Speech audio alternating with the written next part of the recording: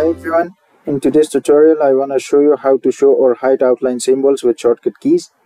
When you want to summarize or do some subtotals for the data in your worksheet, there will be the outline symbols that Excel normally displays at the left of the worksheet area. Sometimes you don't need these outline symbols but sometimes you want to show it. Here is an easy way to help you to toggle the outline symbols between showing and hiding. This hide and display shortcut is uh, Ctrl plus 8 where it is only using the key under the function keys, not the key in the number keypad. Uh, first, uh, act activate uh, the worksheet which contains the outline symbols. Uh, then press Ctrl uh, plus 8 repeatedly to toggle the outline symbols between hiding and displaying. Please note that with this shortcut key you can only show or hide the outline symbols in the active sheet.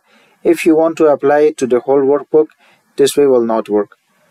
Thanks for watching and please subscribe for more videos.